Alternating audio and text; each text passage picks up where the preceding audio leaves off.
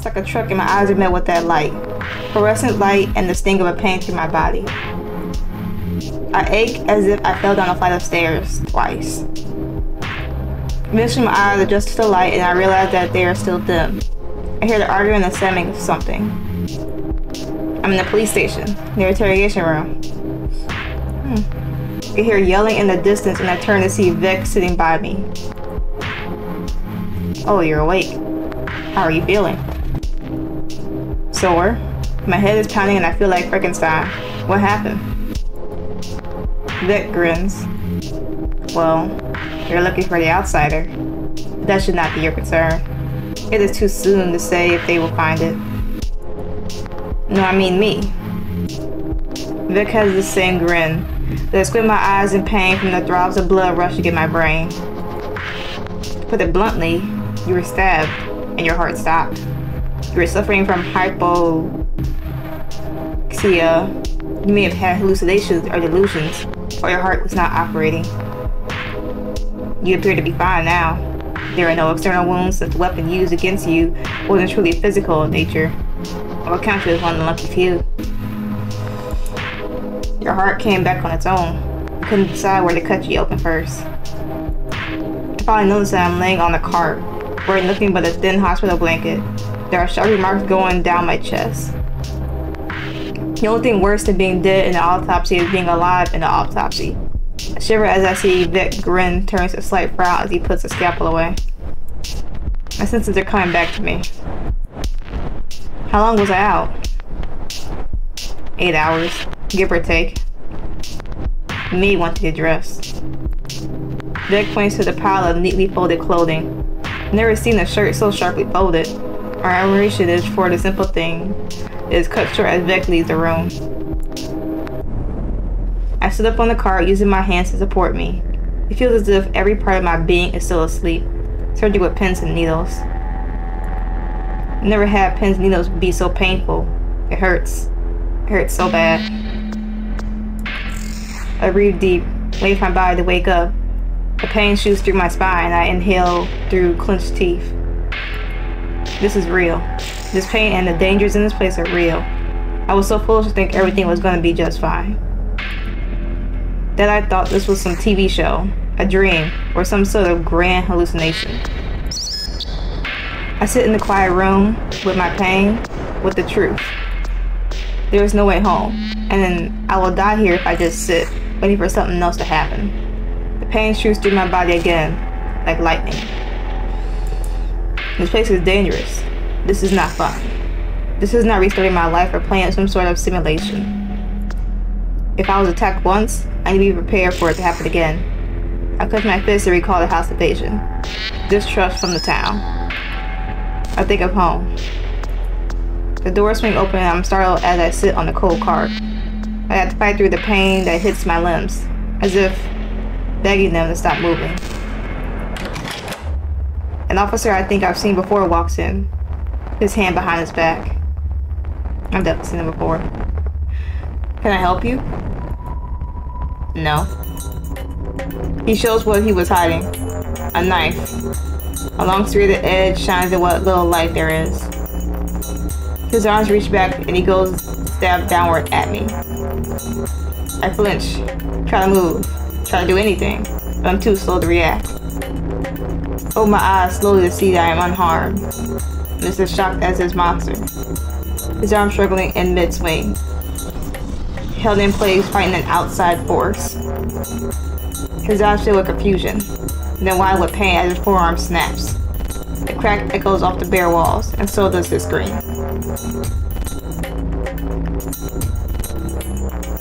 What in the world is all this? He wasn't talking to me. I see Vincent materialize from his invincibility. Um, he was holding the broken arm. Invisibility, yeah. Yes, me.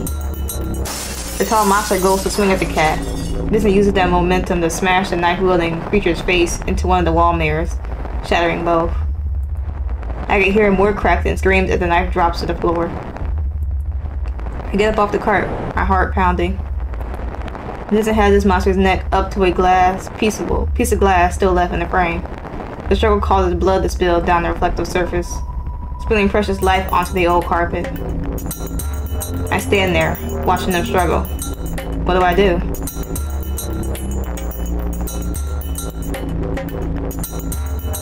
I mean... Help Vincent? Jump forward and push down on the long neck monster, shoving him into his, his doom. The grass cuts deep. The girl of blood bubbling from air as he keeps trying to inhale is haunting. There isn't much screaming as the glass snaps off in this thing's throat. We all stumble back onto the floor. Grab the knife, quick. I look around and find it close to me. I hold it up and Vincent snatches it away from my shaking hand. He lifts it up as he kneels over the bleeding monster. However, the strike never comes. See the dying creature spasm and exhale, all life leaving his body. Blood pools and he is absorbed into the fibrous like an absorbent paper towel. I stick away from the moving tide of dark red. Vincent stands up, blood dripping from his hands, knees soaked. His face splattered like an abstract painting. He stares at the body, scanning the still monster for any remaining life. With a snarl, he kicks a dead sack and it barely moves. He turns to me. I'm naked and in shock, I think. After a moment of silence between the three of us, Vincent speaks. He's dead. It's just before the rest of the force comes running. I know how much you care for your modesty. With that, Vincent tosses me the knife and leaves the room. I sit in the corner, alone. Well, not alone, with the dead body of that monster. My body shakes and I grab my clothes. I try to put them on, my heart is racing too much. I put my shirt on backwards but fix it immediately. I fully clothed when the door busts open. It's Griff. He takes a moment to look around, staring at the fresh corpse for longer than he should. The big boar approaches and squats down. What happened here?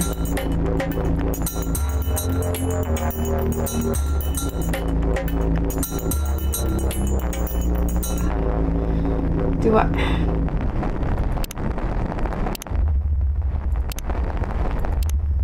I don't really know. It all happened so fast. It's technically not a lot, so... Well, it's not your night. Appears it was not Rothus either. Griff walks over and grabs onto Rothus' arm that drags him out of the room. Miguel's arm barely holds on with the tendons and sinew. Blood follows the body like a red carpet, which I will have to walk on. I exit the broken interrogation room, stepping on the blood and removing shoe cover stamps with each step. I step off the trail and leave behind my own red steps. I find Vincent leaning against the wall, speaking with a blonde-haired horned demoness. demoness. She turns to me with judgmental eyes. With a cold shoulder, she walks away and down the hall. Her heels clack on the tile floor. You did terribly in there. We need to be more aware. You... Well, we just killed him. Yes? What is your point? Aren't we going to jail? We're librarians. We take a life, it is deemed necessary. No judge, no trial, no repercussions. If we deem a trial necessary, then we grant one. The poor fool deserves one. That fool Arathis did not deserve one. We took his life. You made the choice. You're used to this, remember? You're a human. You kill for fun. Well, not necessarily. At least not me. Before I can say anything, Vincent starts walking away. He's wiping his hands on the wall, smearing streaks of red like he has done it many times before. Catch up with the wobbly legs and pained breaths. Vic appears around the corner, as he so often does, with a bucket and mop. He mindlessly cleans the bloody mess like it was an average chore. This is just a common occurrence. Clockwork, par for source. Well, course. We exit out to the street and walk. So I guess uh, Arathis was the outsider? Vincent puts his hands on, well, not on, but into his bloody pockets. I stumble. My muscles ache and burn from being dead and then started alive. Vincent starts to get away from me before he stops and turns.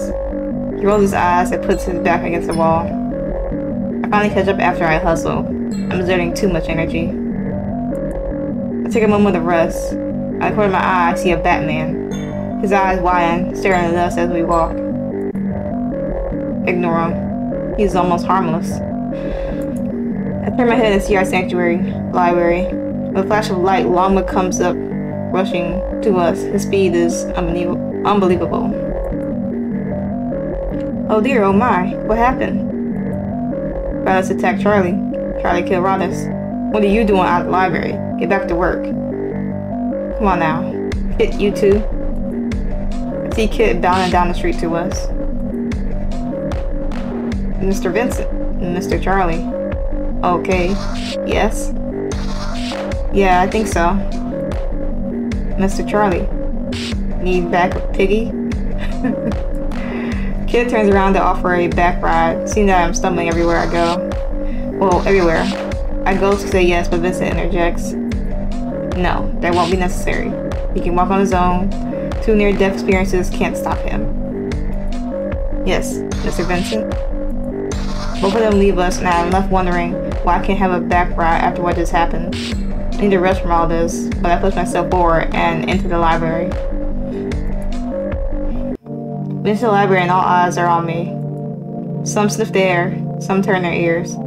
Some enchant incantations or pray. What is going on? Vincent pushes me along, behind the counter and out of public eyes. We enter his office and he turns the chair for me to sit. Put my body into the seat and with a thud. Feels so much better to be sitting. The body hurts and tenses up as I try to relax rebelling against all of my good intentions.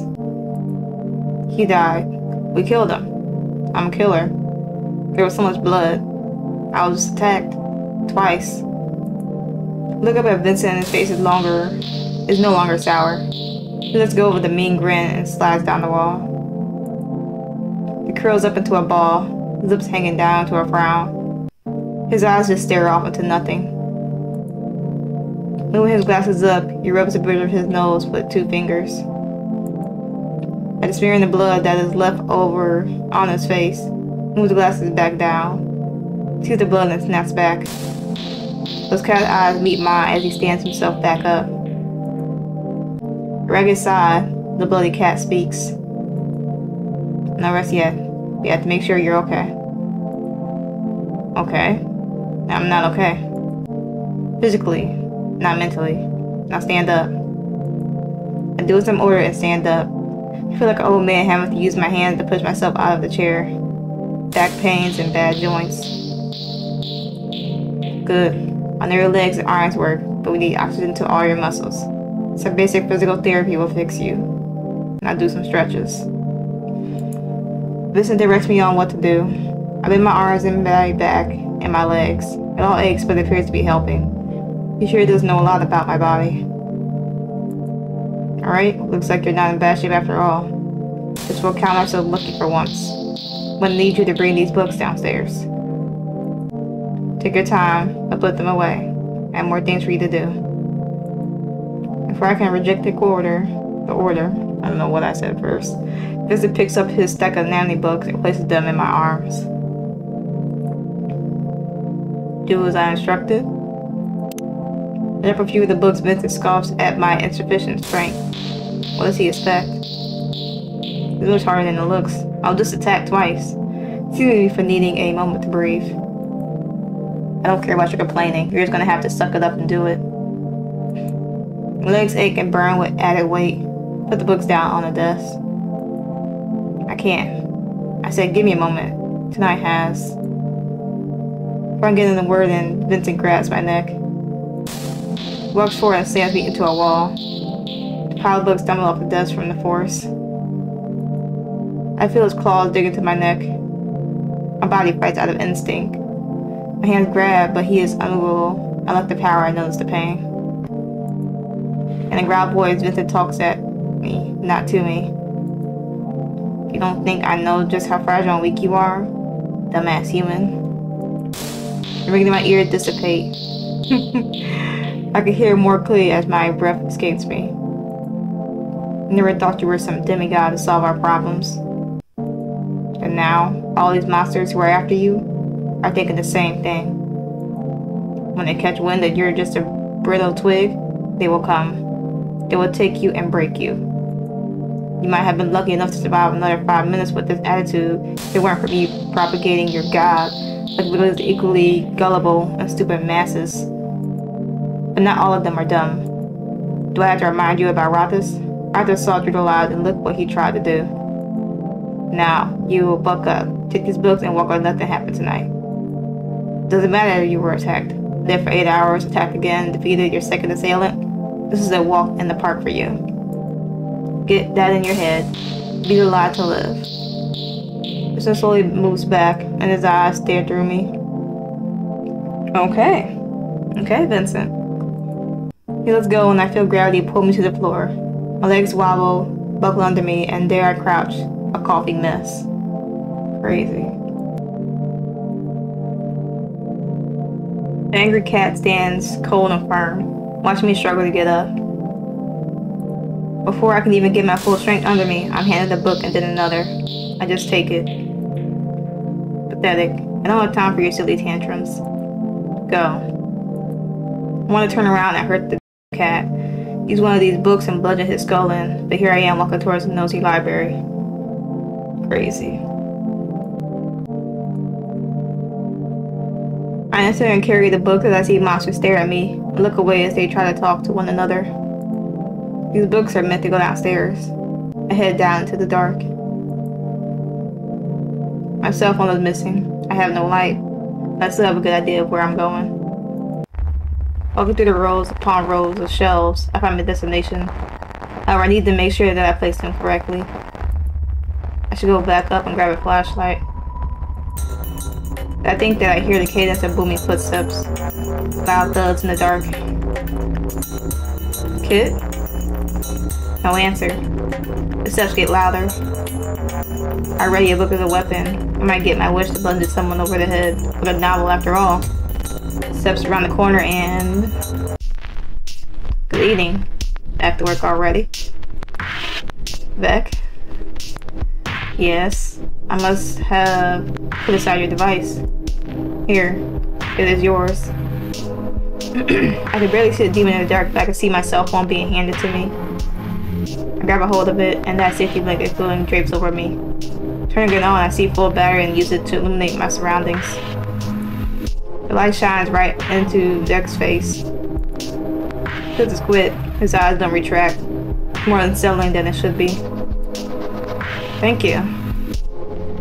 You're welcome. I will leave you to your work. Deck walks away and I can hear his light footstep get softer and softer. This isn't right at all. Is this my imagination going wild, or is he playing with me? Would have guessed the latter since my imagination is no shape to be accurate. Focus on putting these books away, rather than my own thoughts. Physical therapy goes here. Veterinary health goes there. Emergency recitation, directions, nursing books, medical journals. This last one is out of place. Demonic reparation? This book needs to go upstairs. Are all these books on humans down here? What other books are down here? Should take a look. Never really took a look at what exactly was down here. I scanned the categories. Religious texts, theoretical science, writings of tainted minds, humans, theories on the eternal, history of the Black Gate, catalogs of gates, and other important documents. I'll have to go through these tomes in more details later. I head upstairs to put away the last book in my pile. It's easy to find the demography section and I put the book in its proper home. It just look it fits like the last puzzle piece. I make it to the front desk after putting the last book away. This waves me over. He doesn't even look at me. I can just assume these things. I approach and Vincent says in a flat effect. Charlie here will be able to answer your question. I have better things to do. Lucy gets up and walks away. I am put on the spot as I narrate. narrate redacted slams a fist on the table. You have to tell her to stop. Confidence? Tell who to stop what? Upstairs neighbor is ruining my apartment. Keep using water and it's soaking through my ceiling. Oh. Mm, that's unfortunate.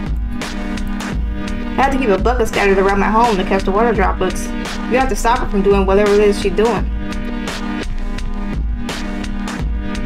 Logic. It is your ceiling. It is her floor. It could collapse though. The whole floor is sagging.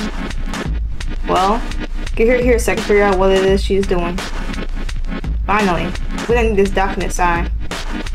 He hands me a piece of paper, printed out on our directions for our library hearing to determine civil action.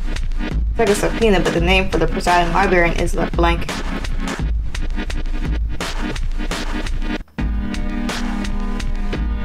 Should I sign it?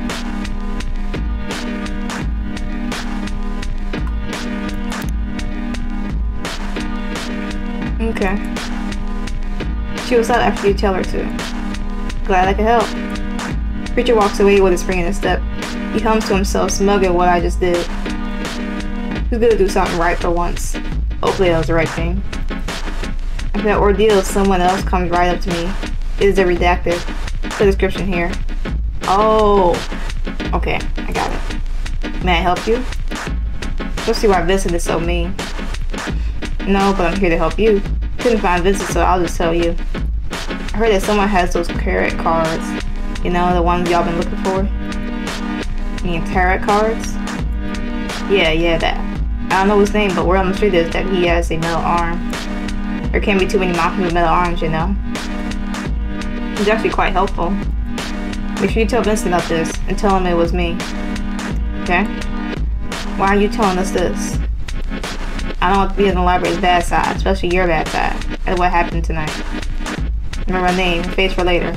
If I can help again, I will do anything to get you on my side. I'm already on your side. I'm here to help. Good. Then that bully won't hurt me again. Who? Nothing, nothing. Make sure Vincent knows. They walk away and library starts to close up. Monster fill out the door slowly and all my coworkers come together. The four of us make an impromptu circle. Vincent's all cleaned up, finally. That's the end of the night, hopefully. Charlie won't be back when we going back to that cabin, and we don't have any extra room suitable enough for him. Therefore, one of us is going to have to bunk up with this nuisance. I hate to ask this question, but who do you prefer? Not that you're playing favorites.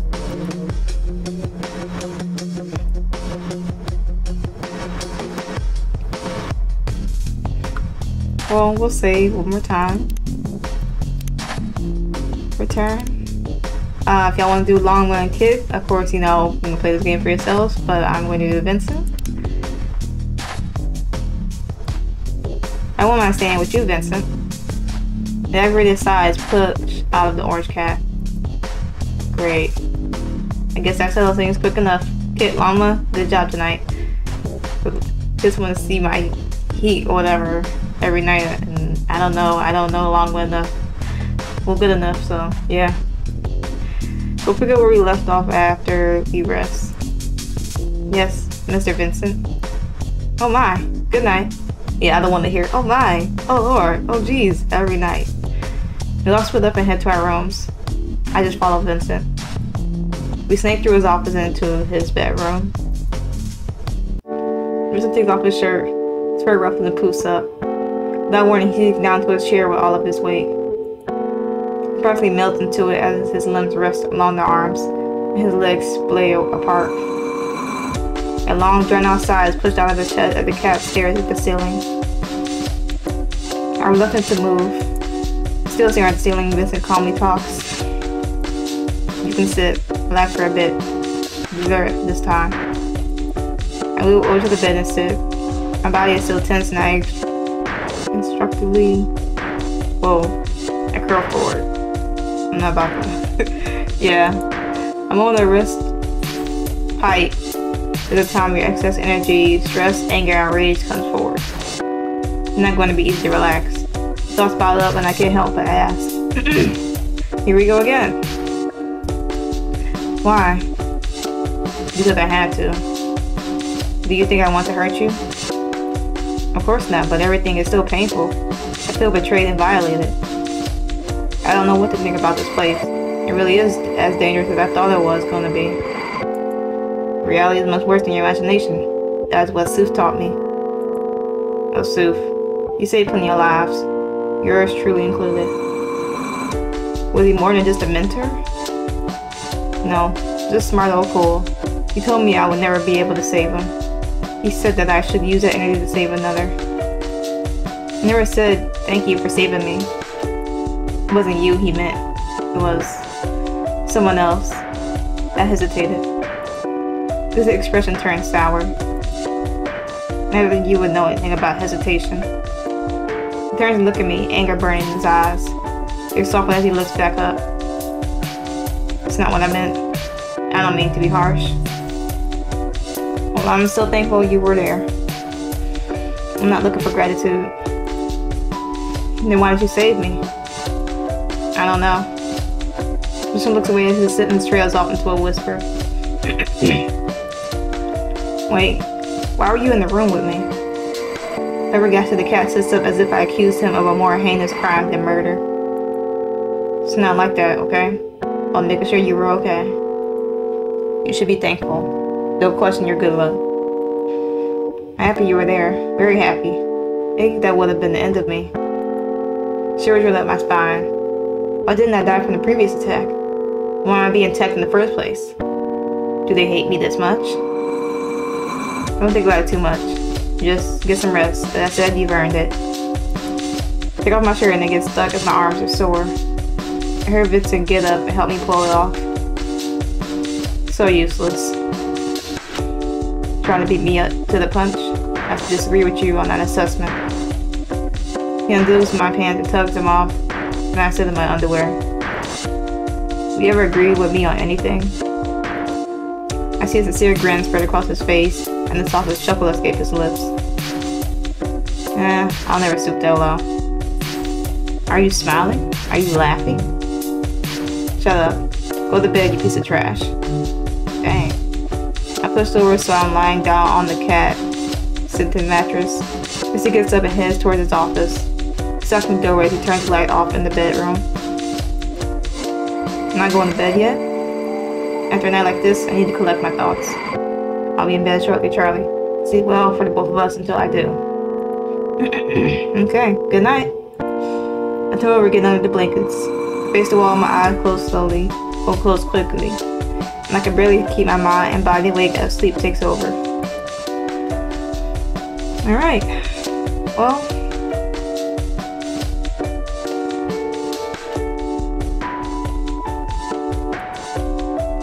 nice six. And a good time as any to um, stop for now. Now we'll go to the main menu. Okay, so that was Blackgate, I believe, number six, I want to say. Um, of course, you know, if you enjoyed this video, like, comment, subscribe, share, you know, everything that will be needed or included for this video, including developer stuff, uh, will be all in the description. So yeah, um, hope y'all enjoyed the video and y'all have a wonderful day, and I'll see y'all next one.